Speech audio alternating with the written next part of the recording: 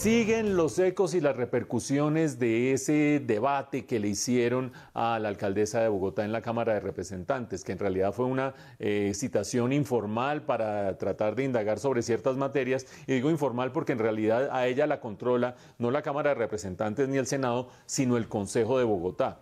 pero no obstante ser una figura un poco informal, un poco ad hoc, que no da lugar ni a una moción de censura ni a nada parecido, porque no es del caso en una situación como estas, las implicaciones políticas han sido grandísimas. Desde ayer ya veníamos registrando los temas que se trataron, la agenda temática, casi toda relacionada con la crisis del coronavirus, desde eh, los señalamientos de que ella no hizo suficiente con el cierre del aeropuerto El Dorado y ella dijo yo no tengo que ver con el aeropuerto El Dorado, eso lo maneja eh, las autoridades nacionales y además yo que me iba a meter a manejarle la política sanitaria al aeropuerto si eso es una empresa privada, se defendió en ese frente, pasando por el tema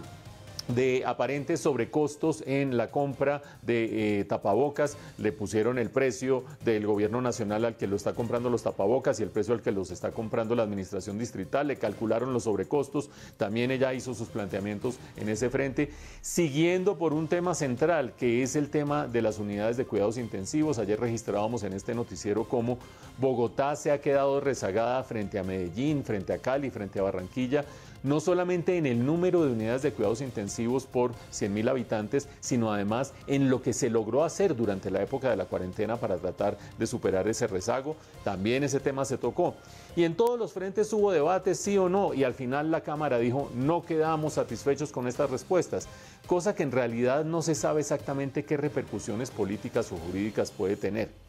Pero desde el punto de vista político, este debate sí es muy interesante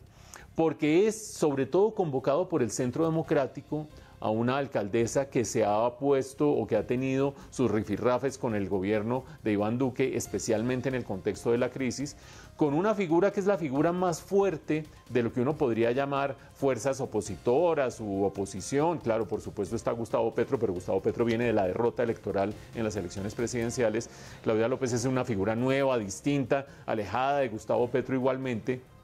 y en esa medida se vuelve un emblema político muy interesante al que el Centro Democrático termina citando y la termina eh, cuestionando y la termina acechando con preguntas. Y de alguna manera lo que la gente se pregunta es, ¿eso la debilita o la fortalece? Dense cuenta que ella ha estado una vez, tras otra vez, tras otra vez, haciendo eh, una eh, permanente riposta de las políticas del gobierno de Iván Duque casi que liderando de algún modo una oposición, eh, por lo menos en ciertas materias, al gobierno de Iván Duque. Y en realidad, pues uno puede oponerse o no oponerse si es alcalde de una ciudad a lo que esté diciendo el gobierno nacional, y eso no lo convierte en figura emblemática de la oposición. Sin embargo, cuando ya el partido de gobierno la termina citando, la termina cuestionando, termina diciendo no estoy satisfecha con sus respuestas, probablemente esté haciendo más por graduarla a ella como figura emblemática de la oposición, de lo que podrían hacer muchos hechos adicionales o muchas personas adicionales.